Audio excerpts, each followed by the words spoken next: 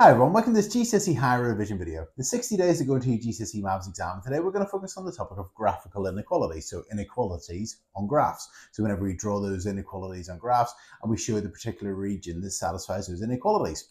If you've got the Corbettmaths revision card, card number 91 in the higher sets on graphical inequalities, so hopefully that'll be a useful one for you and help your study on this topic. In this video we're going to go through graphical inequalities, so let's get started. Hi, today we're going to be looking at graphical inequalities. So in this video we're going to go through three examples of graphical inequalities questions and then I would highly recommend you have a look at the practice questions today because with graphical inequalities it's really handy if you have the grids drawn for you so then you can draw those inequalities and show the regions really nicely on the grid. Uh, but in this video I'm going to go through three examples. Uh, feel free to press pause and try and think about how you would do each of the questions and then listen to me talk about them. So here's our first question. It says on the grid, so here's our grid, clearly indicate the region that satisfies these inequalities. So we've got three inequalities inequalities, x is greater than or equal to 2, y is greater than or equal to 1, and x plus y is less than or equal to 4. So in terms of these inequalities, what we're going to do is we're going to draw them. So we've got x is greater than or equal to 2. So we're going to draw the graph of x equals 2 on this grid. Now, because it's greater than or equal to, if you have greater than or equal to or less than or equal to, whenever you draw the line, you, you draw a solid line. If you've just got greater than or less than, you draw a dashed line. So because this is greater than or equal to, we're going to draw a solid line and we're going to draw the line x equals 2.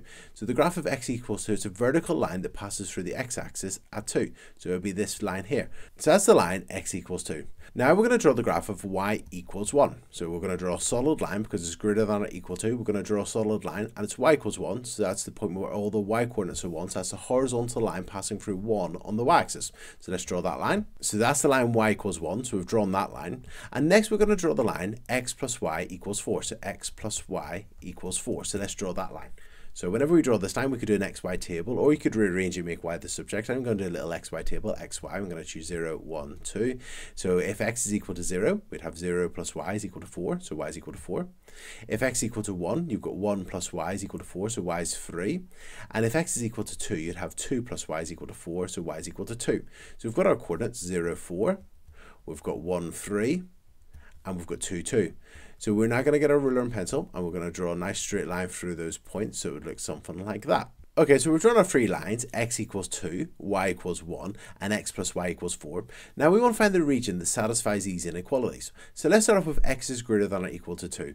So we've got this line x equals 2, and all the points on that line or to the right of that line would satisfy that inequality, because we've got x is greater than or equal to 2. So anything to the left of that line, where the x values are less than 2, wouldn't work. So I'm just going to, in pencil, just do a little marking like this, just to show that anything to the left of that line wouldn't work. So just going to do little marks just just like that to show me anything to the left of that line wouldn't work. Okay, next inequality, y is greater than or equal to 1. So we're looking for a region that where the y coordinate is greater than or equal to 1. So we've got the line y equals 1. Anything below that line wouldn't work. So again, I'm just going to shade down there just gently, like so, just to show myself that anything below that line would not work, would not satisfy that inequality.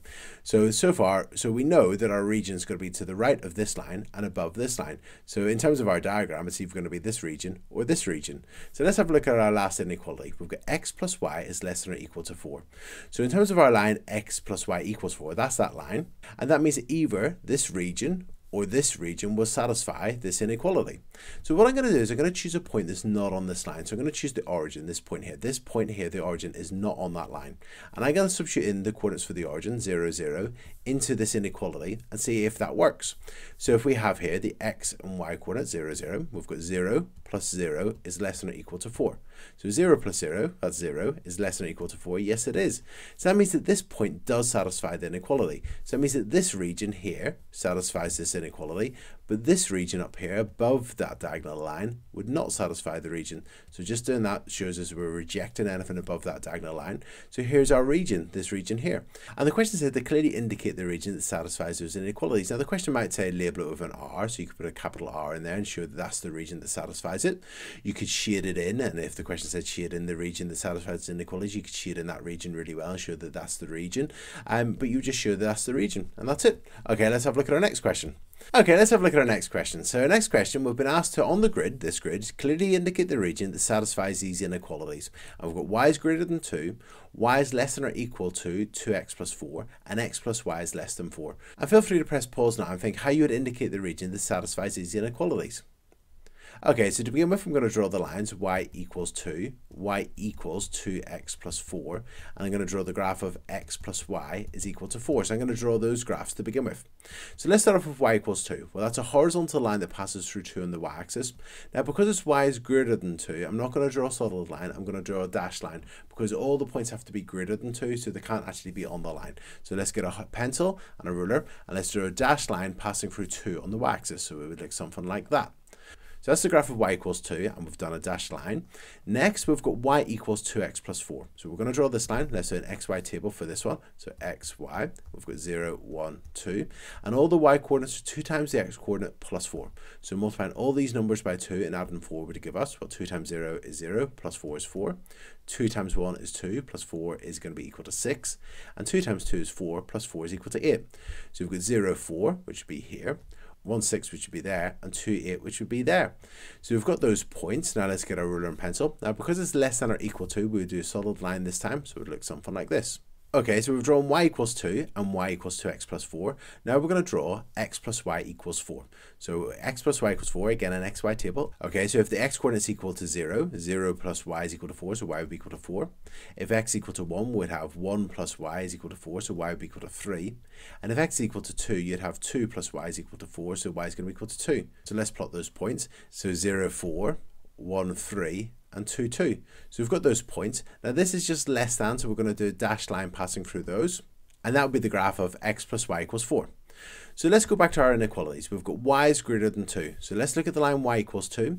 If it's greater than 2, we're going to reject below the line. So we're going to reject below that. And I'm just doing little dashes just to show that I'm rejecting below the line. I'm not doing really big dashes or just little subtle dashes just to help me find the region.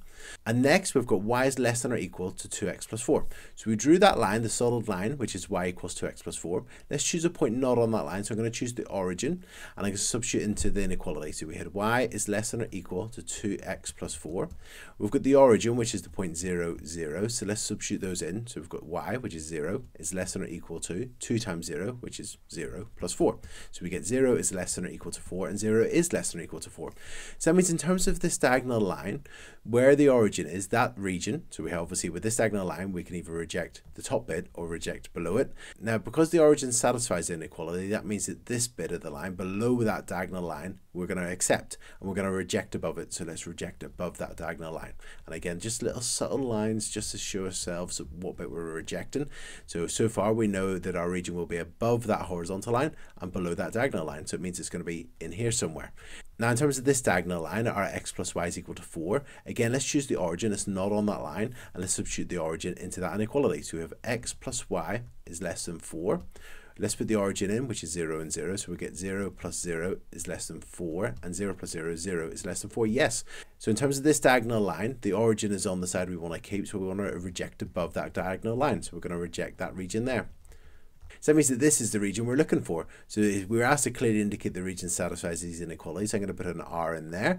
You could tick it or you could shade it in and show that that's the region. Depends on what the wording of the question is. So that's it. That's the region. Okay, let's have a look at one last question. Okay, let's have a look at our last question. So this time we've been given a region, R, and we're told that this region satisfies three inequalities. And we've been asked to state the three inequalities. And we've got these straight lines. So let's start by finding the equations of those lines. So in terms of this horizontal line, it passes through the y-axis at negative 4. So that's the line y equals negative 4, this line here.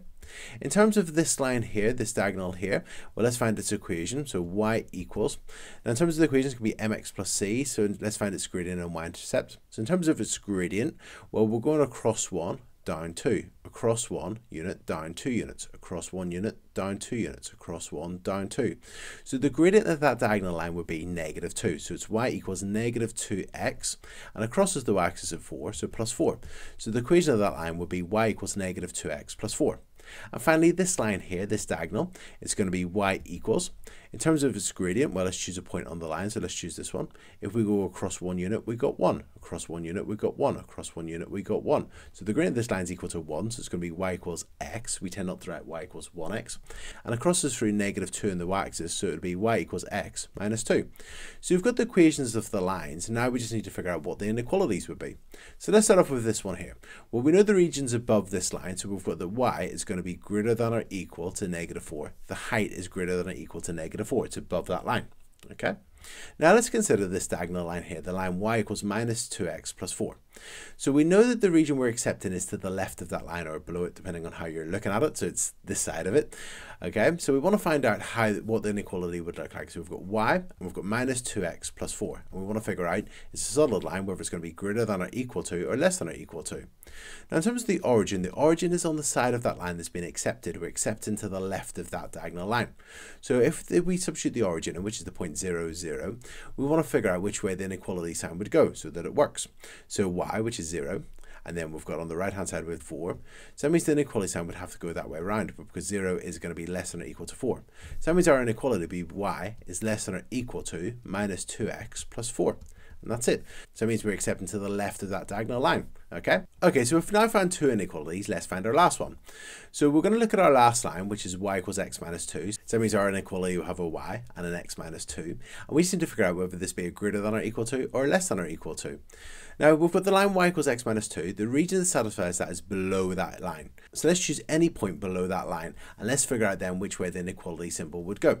So I'm going to choose a point below that line. I could choose any point at all. I could choose the point 0, negative 6. I could choose the point 1, negative 4. I could choose the point 2, negative 2. I could choose 4, 0. I'm going to choose the point 5, negative 1 because 5, negative 1, it clearly is below that line and we're trying to find the inequalities so that we accept below that line but not above that line. So let's let x equal 5 and y equals negative 1. So, we'd have negative 1 for y. And then in terms of x minus 2, x equal to 5 minus 2 would be 3. So which way around would we put the inequality symbol so that this works? Then it would be this way. So we've got that y is less than or equal to x minus 2. So it would be y is less than or equal to x minus 2. And that's it. So we've got our three inequalities. And if you got those, well done. And that's it. So in this video, we've looked at graphical inequalities. We've looked at how to draw those inequalities on graphs and we've shown particular regions that satisfy them but also how to go from regions on the graph to what the inequalities were. So hopefully you're able to do these questions in both ways. So draw the inequalities, but also write down what the inequalities are.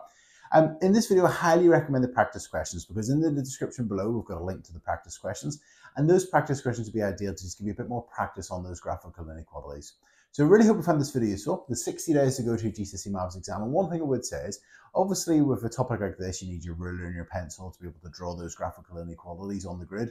So I would say with a topic like this, you know, it just shows the importance of being prepared to, you know, whenever you go to your lessons, have your equipment with you. So that perhaps if a teacher pulls out a question on a graphical inequalities question, you've got your favorite ruler, your favorite pencil, and you're ready to rock and roll and do that question.